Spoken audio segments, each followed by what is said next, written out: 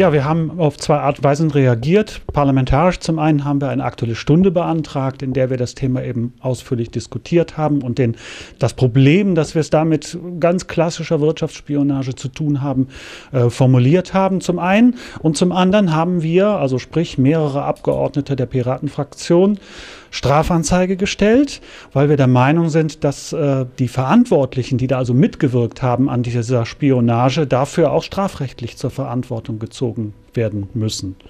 Nun ist das auch ein Thema, was Nordrhein-Westfalen ganz unmittelbar betrifft, weil auch nordrhein-westfälische Unternehmen von dieser Spionage betroffen sind. Also zum einen die Telekommunikationsunternehmen, die in Nordrhein-Westfalen ansässig sind, die Deutsche Telekom zum Beispiel. Zum anderen aber auch äh, das DZIX, also der größte deutsche Internetknoten mit, mit äh, seinem Rechenzentrum in Frankfurt. Der hat seinen Sitz in Köln. Auch der ist seitens des BNDs sozusagen angeordnet worden, mitzuwirken.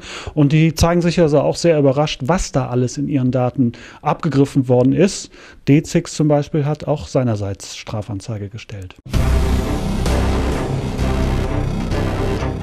Ja, der Bundesnachrichtendienst hat ein ganz bedenkliches Eigenleben entwickelt und es zeigt sich eben, dass er offenbar nicht unter parlamentarischer Kontrolle oder überhaupt nicht so richtig unter Kontrolle steht. Also mindestens muss er deutlich an eine deutlich kürzere Leine gelegt werden. Die Kontrolle muss intensiviert werden. Und wenn das nicht geht, dann bleibt nichts anderes übrig, als den Bundesnachrichtendienst und andere deutsche Geheimdienste aufzulösen und die Aufgaben dann eben notfalls an eine neue, aber demokratisch kontrollierbare Institutionen zu vergeben.